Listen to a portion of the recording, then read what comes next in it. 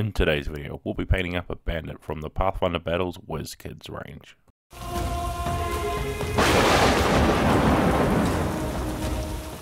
Okay, so the first thing we're going to be doing is I'm going to be chucking some PVA glue onto the base. I've already attached it to the base, and I'm just going to be dipping it here and some sand that I've just gotten from my driveway um, to give the base a bit more of a texture because um, I want the bandit to be sort of uh, skulking through the woods, something like that. You've just sort of spotted him with the pose he's got. So uh, I think giving them some stand and a bit more texture and a bit more environment to the base is going to really help sell that effect. So now with that base all completely dried up and primed, we can start moving on. So starting off with some barbarian flesh here, and of course we want to use this for our bandit skin, so giving a nice light coat over, waiting for it to dry, and then coming over with a second coat. Now remember all the paints uh, that I apply on are all to thin down with just a little bit of water um, to make it run smoother into the, the cracks and the crevices and stuff like that. So now with all his skin all painted up, we're going to come in now with some khaki. And for this, what we're going to be doing is we're just going to be placing some on his pants here. Khaki's a good color um, for, for just sort of a generic uh, pant style clothing, uh, either that or a brown or a black, whatever you feel like here. But I didn't want it to go with a really dark color. I want to have this bandit be a little bit more bright and stand out looking. So with those pants complete, what we're going to be doing now is coming in with some Cavalry Brown. Now Cavalry Brown is a very red uh, brown, so we're going to be using this to be painting his uh, undershirt here, a little bit of uh, leather armor he has on him. We want to be painting that up with the leather brown, giving it a nice uh, pop of color on there. Because uh, like I said, I don't want this to be just a generic sort of bandit who's all covered in black and grey robes. I want him to be a little bit more standout. He's a little bit more showboaty, especially with his little eye patch he's got on. So I want to reflect that with a bit more brighter colours than I'd usually apply for just a generic sort of bandit. Okay, so now with his leather armor complete, what we're going to be doing now is coming in with some green skin. And I'm going to be using this to be painting his little, uh, what do you call it, mantle or little cloak he has over him here in the nice bright green. Um, now this green is a little bit thin. Uh, mine, as you can see here, I've put a little bit too much water in here and it's uh, sort of making the brush strokes very visible, so I will have to come back over definitely with another layer or two to tidy that up. But that's a good thing about using multiple layers is it'll eventually get rid of those streak marks. Okay, so now what we're going to be doing is we're going to come in now with some ivory. And what we're going to be doing is we're going to be painting in our bandit's eye. Now, he only got one eye because he's got a little eye patch over the other. So being careful here with a nice fine tip brush. I'm just brushing in the area of the eye. Now I'm being a little bit rough with it here. I just want that whole eye socket region all painted in. And then I'm going to come back with our original flesh tone color and then just tidy it up to make it look like a proper eye.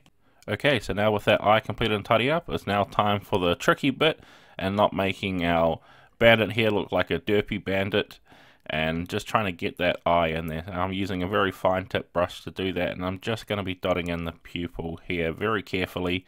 Um, you could alternatively use a, a drawing pin or uh, just any sort of needle you've got on hand with just a dot of black glue, uh, black glue, black paint I mean, sorry, and place that in there, dabbing it to get that nice dot effect. But I want to work on my uh, brush skills a little bit and of course, we also want to make sure we paint in that eye patch as well with that same black too.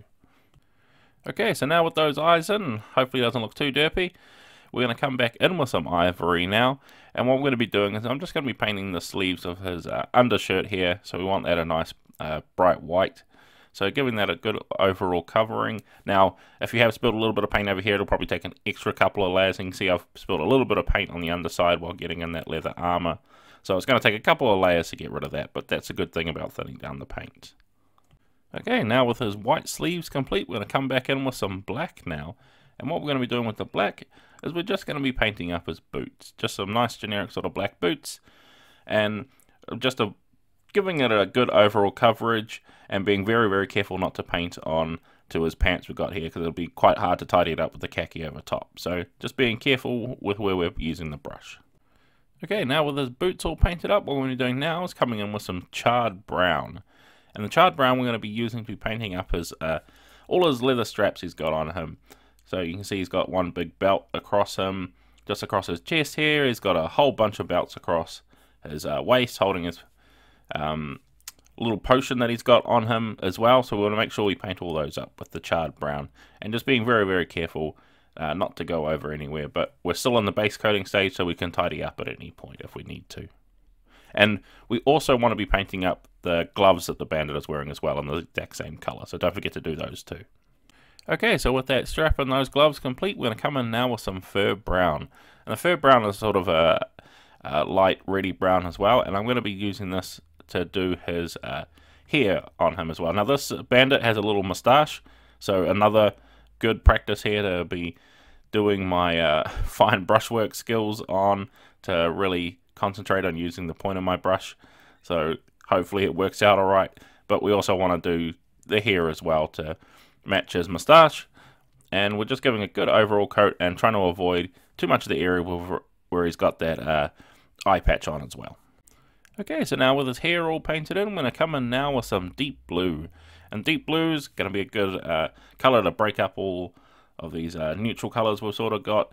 And we want that nice big pop of colour. And I'm just going to be doing that with this little uh, potion bottle he's carrying. Now, I'm not quite sure if it's a potion bottle or maybe just a water skin. But I'm going to make it as a, he's carrying a potion bottle with him. So nice big bright blue.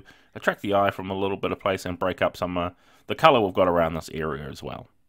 Okay, so now with our blue completed, we're going to come in now with some leather brown. And for the leather brown, all we're going to be doing is just using it to be painting up all the rest of the straps that he has on him here, just across his waist. He's got about five or six of these straps, so being careful to make sure we cover all those straps and don't paint over anywhere we don't want that paint, but it is okay to tidy up because we are still in that base coating stage. So if you need to switch to a finer brush to really get into all the areas where the, the straps and belts are, don't be afraid to do that. Okay, now with all those belts completed, what we're going to be doing now is moving on with some gunmetal. So, of course, for our gunmetal, we're going to be just applying this everywhere that our miniature has any metal detail. So, of course, he's got his uh, big dagger here. He's got all the little uh, buckles on his belts. He actually has just a little bit of armor on the back of his gloves where he's got sort of a metal plate on there. So we want to make sure we get those in as well. And of course, I'm being very, very careful to just get the actual belt buckle itself. As well as he also seems to have uh, two metal stakes in here. I guess he can also hunt vampires as well. Um, so we want to make sure we get those in with the metal as well. We can say that there's some nice silver stakes just in case this bandit comes across any vampires. So unusual detail to have in there, but we want to make sure we get those in as well. Okay, so now we've got all the metal painted up. We're going to come in now with some dirt spatter. And dirt spatter we're just going to be applying all over the base. So we want to make sure we get it uh, into all those cracks and crevices with all that uh, sand that I had on here. So you might want to thin this down just a little bit more than you thin down your uh, paints for painting on the miniature. Just so it really does get into all those little crevices between all the little grains of sand and rocks on there. Okay, now with the basing part completed, we can now move on to some washes. So starting off with some flesh wash, and of course we want to be using our flesh wash to be covering over our skin, and as well as I'm just going to be using it over here as well, because flesh wash has a bit of a red tone in it, so it'll bring out a little bit more of that red color in his uh, hair with the fur brown we've got in there too. So I'm doing this and just being a little bit careful to avoid uh, getting it into the eye, because I don't want to taint all that color as well. Okay, now with that Flesh wash all dried up. We're going to come in now with some Agrax Earthshade. Now, Agrax Earthshade, we're basically going to be using over the entirety of the rest of the miniature, except for anywhere where we have that metal detail. So we're going to be applying this pretty liberally and all over the miniature, giving that good coverage everywhere we possibly can. As well, don't forget to do the base as well. We want some across there, giving some nice uh, texturing in there too. So everywhere, just sort of being ha haphazardly placing it on everywhere, but we are still remembering to uh, avoid too much of the pooling. We don't want any pooling in any areas where we don't, so we've got some nice big nasty brown spots all over the miniature. So just being a little bit careful and minding where those spots are happening while you're doing this. Okay, so now we have that Agrax Earthshade all dried up and we can start moving on with some Nuln Oil. So Nuln Oil, of course, we're going to be using this over our metallics because I'll love the effect it gives on metallics. It really brings them out nice and uh, detailed with having that nice sort of uh, middle. How would you say it? Uh, sort of just it really makes it look like a realistic uh, metal in shadows and stuff with that Nuln Oil on there. So just applying it to all those middle areas, like I said. Then once we have all those completed, we can now move on to some highlighting steps. So starting off with ivory here, all I'm going to be doing is going back over the areas where we had our uh, white undershirt and that ivory color placed and just being mindful of where we're putting it. So we're putting it basically every, basically applying it back on like normal, but we are avoiding all the areas where there is folds and we've got those super deep recesses. We want to avoid those areas because they're not in the sunlight and we want to uh, give off that effect like there's a nice bright sun hitting the miniature. And again, we're going to be doing some more highlighting, and this time we're going to come in with some green skin, which is our original color we had for our green.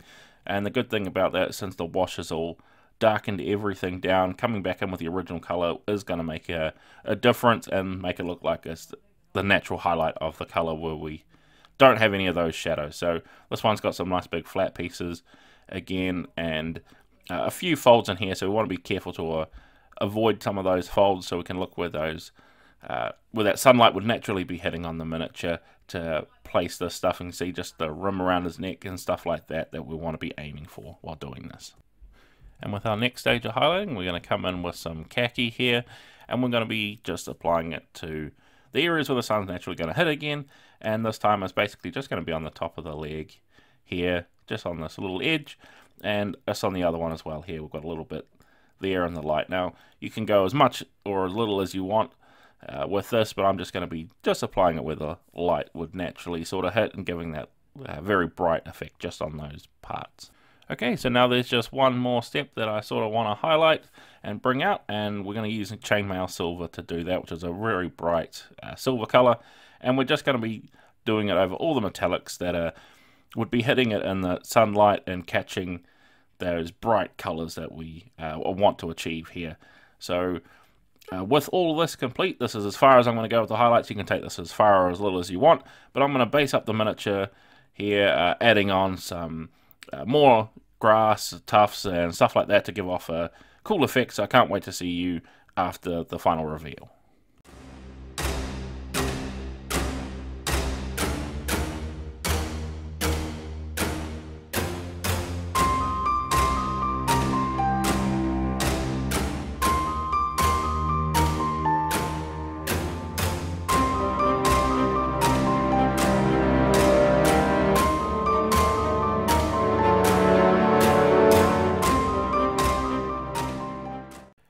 And with that, we have finally finished painting up our bandit from the Pathfinder Battles WizKids Miniatures line.